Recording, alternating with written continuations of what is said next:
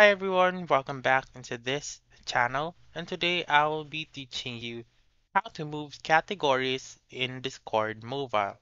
So let's begin right away. The very first step is to make sure that your Discord app is up to date. If not, please go to the App Store or Google Play Store and update your Discord app. Afterwards, just simply open your Discord app and then click the three lines found on the upper left corner and then click on the three dots found on the upper right corner. Click on settings and then click on channels.